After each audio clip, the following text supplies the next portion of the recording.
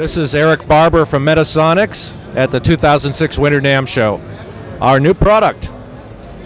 It's a synthesizer made of vacuum tubes. It's a complete self-enclosed rack mount synth with two oscillators, wave shaper, filter, VCA, all made of vacuum tubes.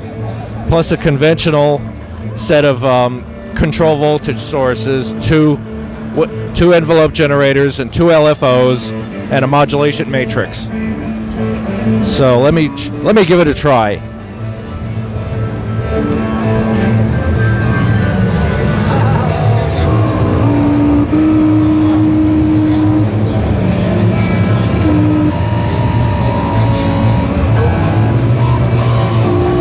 It may be out of tune. Sorry.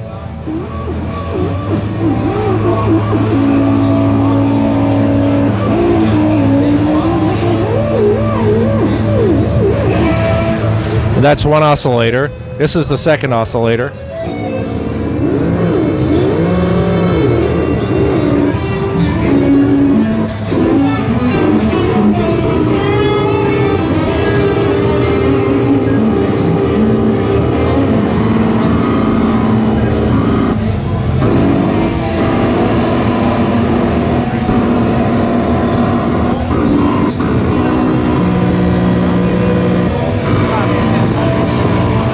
A bit noisy, but it's capable of a lot.